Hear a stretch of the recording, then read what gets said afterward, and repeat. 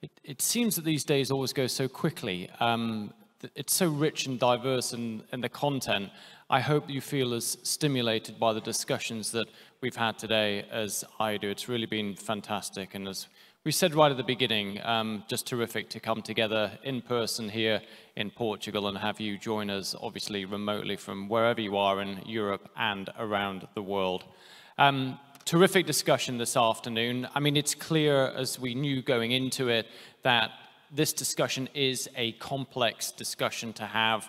Lots of complex arguments, scientific, political, economic, social, cultural.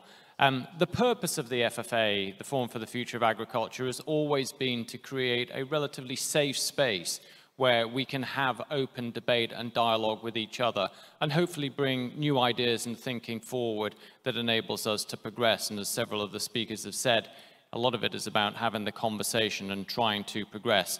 Um, we've heard some, some strongly articulated views from the panelists uh, today. Um, please do keep uh, following the discussion and submitting your thoughts and commentary. Maybe you agree, maybe you disagree. It's important that we bring in all perspectives. Well, that just about brings us to the end of today's Forum for the Future of Agriculture regional event um, activities from the main auditorium, uh, our plenary session this morning, and indeed our workshop this afternoon. Plenty more to come over the next hour and days um, with some adjacent events around today's uh, regional forum event. And as we progress through the summer and into the autumn and winter, the forum intends to be back with its full program and we hope to see more of you um, in person. Mark. We will certainly um, all things being equal, be back together in Brussels for our annual conference um, next spring. I will stop and hand over, I think it's Antonio, isn't it? António Spinato Pinto. Cristina, over to you. Tenho o prazer de chamar António Spinato Pinto. António Spinato Pinto, please. António Spinato Pinto, for your closing remarks. Please.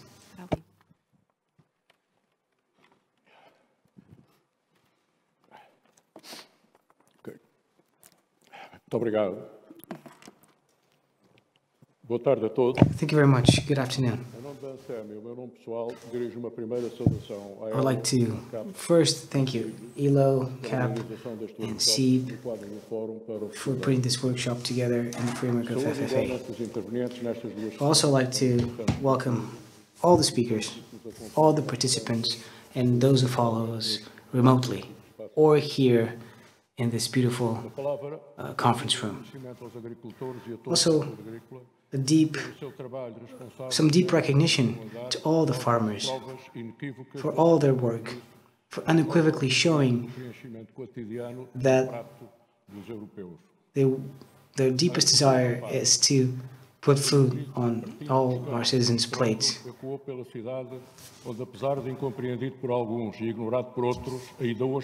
Now, today, we can still hear that thunderous roar that came from farmers and agriculture, even though we now are living in the midst of a pandemic.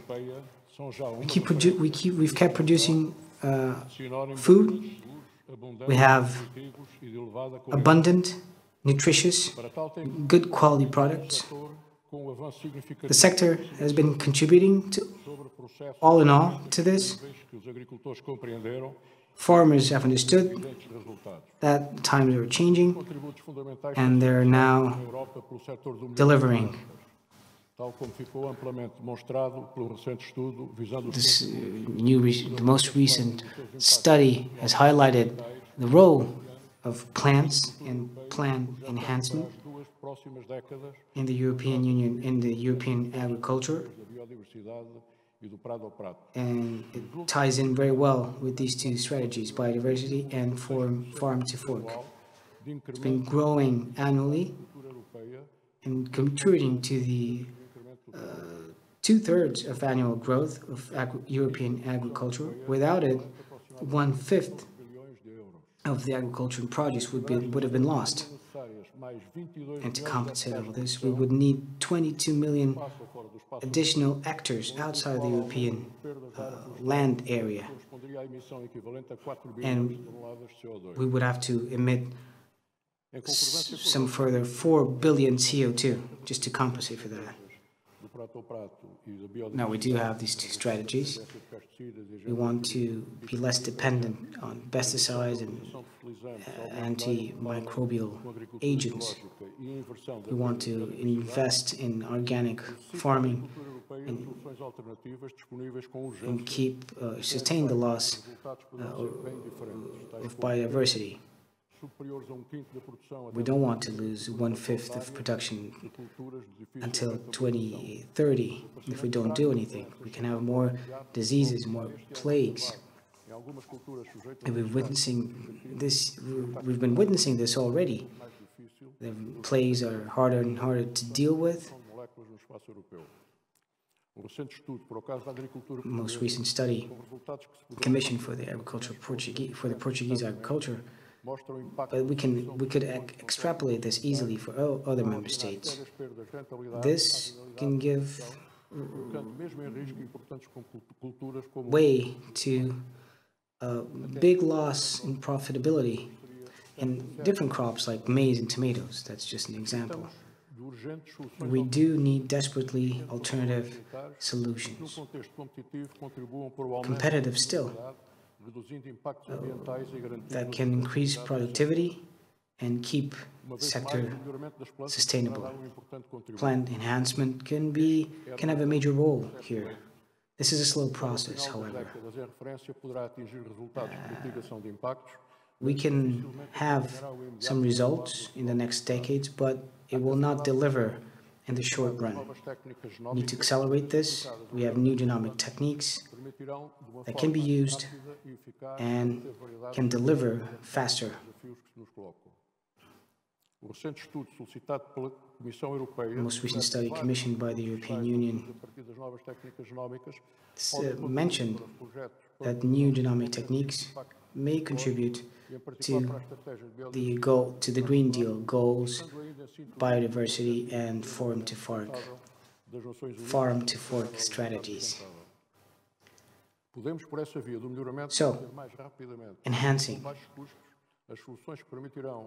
It's faster, it's more affordable. We can uh, diminish all the negative impacts, a lot of them. So, member states need to support the European Commission's proposal so that all these varieties don't have um, genomics techniques that are foreign to the native species. We also need to, have, to clarify concepts and for clear legislation. We need to say clearly that the sector needs to invest so that we can make everything available to farmers quickly. We need to keep promoting our agriculture in the world as a sustainable model. Dear participants, and Sam, my organization, as was been asked as to close this meeting. So healthy crops and live healthy life. Thank you.